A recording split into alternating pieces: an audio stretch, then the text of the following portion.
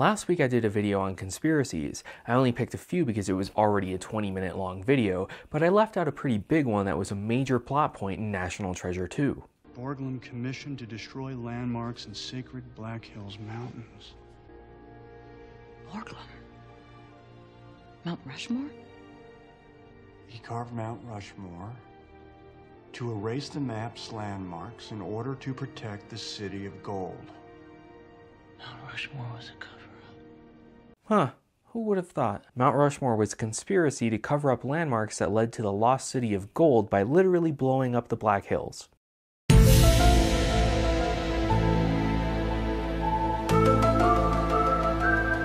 Okay, maybe not. But let's talk about what this landmark to the American Empire really does stand for.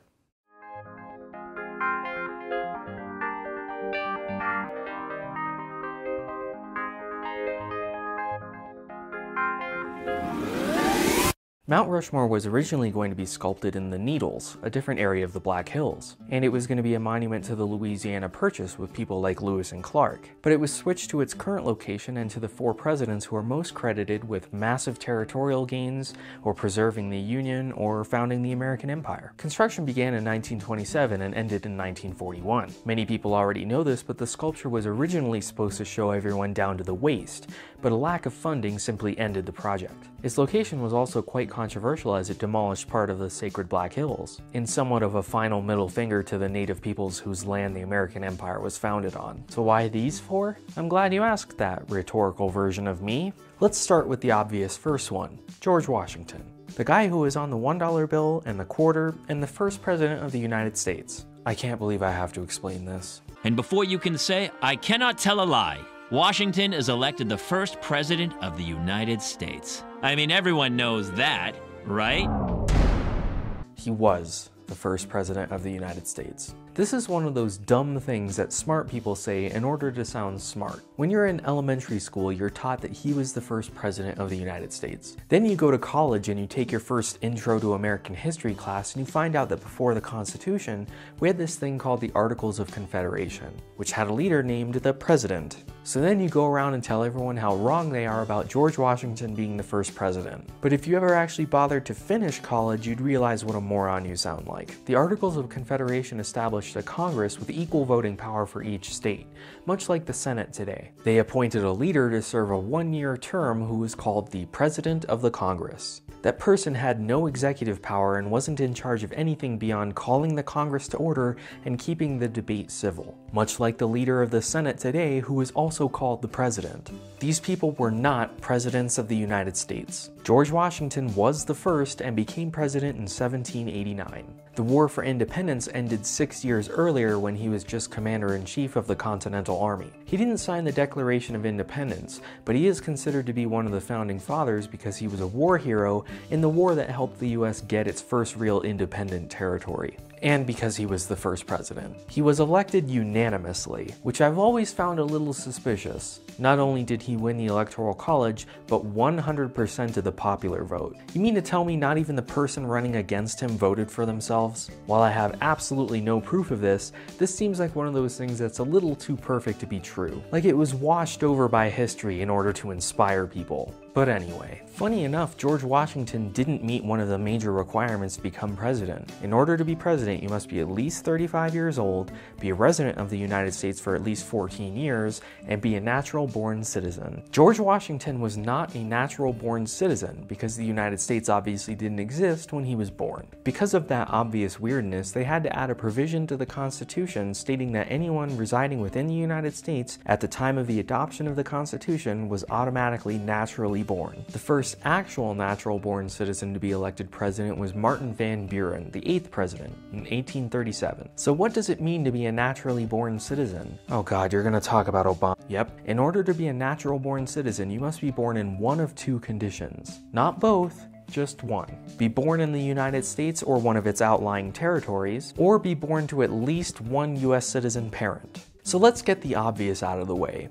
If Obama was born in Kenya, he wasn't. He was born in Hawaii, which was part of the United States when he was born. But still, if, it doesn't matter because his mother was indisputably American, so that alone makes him a natural born citizen. Several other presidential candidates have also had questionable citizenship. Like John McCain, who was born in the Panama Canal Zone, which I'll get to later, but it's an outlying possession, so that's okay. Or Ted Cruz, who was born in Alberta, Canada.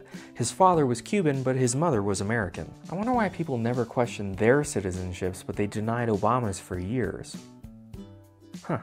Weird. Anyway, moving on. Thomas Jefferson was the third president of the United States and is on the $2 bill and the nickel. Just as a side note, the $2 bill is real currency, but it's not some sort of collector's item. They make new ones almost every year. Jefferson is on the monument because of the Louisiana Purchase, which almost doubled the territory of the United States. Under the French, Louisiana existed solely for the purpose of providing food for Haiti. Haiti was a French territory which grew almost exclusively sugar and nothing else. So food had to be brought in from New Orleans. Haiti went through a slave revolt in the 1790s, and when it became apparent to Napoleon that he was going to lose control of the territory, Louisiana was of no further value, so he offered to sell it to the US. This caused somewhat of a constitutional crisis in America, however. Jefferson was a believer in a strict interpretation of the Constitution, which didn't give the government or the president power to buy land. But it would have been absolutely stupid to refuse this deal. For just $15 million, the price for the 828,000 square miles was too good to pass up. So they said that the acquisition wasn't a purchase, but a treaty, which the government is totally allowed to do. Another major issue of the purchase was what to do with the 60,000 French inhabitants of the land, half of which were freed African slaves. Do we make them citizens? What would that do to American democracy? How can we allow so many non Americans automatic citizenship? This argument should remind you of a current situation facing a similar issue. But Napoleon insisted that automatic citizenship be part of the treaty, so that was put to bed rather quickly. Mount Rushmore lies in the middle of the Louisiana Territory, and as I said in the beginning, it was meant to be a monument to that purchase. The same year of the purchase, Jefferson commissioned the Corps of Discovery Expedition, more commonly known as the Lewis and Clark Expedition, whose purpose was threefold explore and map the new territory, find a practical route to the Pacific Ocean, and establish an American presence in the territory. They established several forts and buried supplies on their way westward, and they reached the Pacific coast of Oregon in November 1805, and then walked all the way back in spring 1806. The entire expedition took 17 months, made 140 maps, established diplomatic relationships with 70 Native American tribes, and discovered over 200 new species of plants and animals. Next is Abraham Lincoln, the 16th President of the United States, who is also on the $5 bill and the penny. The penny is a coin so worthless that if you melted it down and sold the metals, you'd make a 250% profit. But that's a different story for a different time. Lincoln is on the monument for two reasons, and they're probably not the reasons that you're thinking of. Well, okay, one of them is probably right. But first, let's go ahead and talk about your two guesses preserving the Union and freeing the slaves. Okay, first of all, he obviously preserved the Union by being the president during the Civil War. While I could probably make a dozen videos about the Civil War really quick, this is another one of those dumb things that smart people say in order to sound smart. At the beginning of the war, if you were a betting man, you would have put your money on the South to win. Yeah, if you're a betting man who hates winning. While yes, at the beginning of the war, the South did have a larger army and home field advantage, the North had a much higher population, a much larger manufacturing industry, and most importantly, much more railroad, which meant that they could mobilize a much larger army much quicker. The war did not start over slavery, per se. Lincoln never ran on the platform of ending slavery, but the South was afraid that they were eventually going to lose their slaves because of Western expansion. According to the Missouri Compromise, states were admitted into the Union in twos, one slave and one free. But the West was running out of states to admit, so they knew the end was near, so they preemptively seceded when Lincoln was elected. In the beginning, the war was simply about ending the rebellion and bringing the South back into the Union. But it became about slavery when the tide started to turn against the South two years into the war. At that point, Lincoln signed the Emancipation Proclamation, which only freed the slaves in any territory in active rebellion against the United States. So in the four loyal slave states and the occupied areas of Tennessee and Louisiana, slavery was still legal until the 13th Amendment was passed. Lincoln was alive when the amendment was proposed proposed but died before it passed. So did Lincoln free the slaves? Pretty much, yeah, but not entirely. As I discussed in my railroads video, the first transcontinental railroad was supposed to be the southern route, connecting Texas to California. But since Texas joined the South in seceding, Lincoln approved the central route from Omaha to San Francisco. It was completed in 1869, thus joining the West with the rest of the country. Before the railroad, you either had to take a several months long journey through the Oregon or Overland trails, or set sail around the southern tip of South America. So what are the two reasons why Lincoln is on the monument? For bringing the South back into the fold and for bringing the West into the fold. And finally, Teddy Roosevelt, who actually hated being called Teddy. He's not on any money, but he does have a stuffed animal, I guess? Like Lincoln, Roosevelt is on the monument for two reasons. First of all, like Washington, he was a war hero. He was a colonel of a cavalry unit called the Rough Riders during the Spanish-American War. This is the war that really cemented the idea of the American Empire. Geez, it took you almost 10 minutes to get to the topic this video is about. The Spanish-American War was when we acquired Puerto Rico, Guam, the Philippines, and Cuba. We liberated Cuba in exchange for being able to lease a naval base there. If you can name that naval base, 10 points to Gryffindor, which we still pay rent for, by the way. We also gave the Philippines their independence after several rebellions and occupation by the Japanese during World War II, but before that it was granted Commonwealth status, which is what Puerto Rico is today. Every year we're setting a new record for how long the United States has gone without adding a new state. This, right now, is the longest we've ever gone. Now this is. Now, that Puerto Rico is obviously next in line, and while there are some people there who want to become a state, it's often blocked by Congress. Why? Because about 100 years ago, Congress locked themselves in at 435 seats.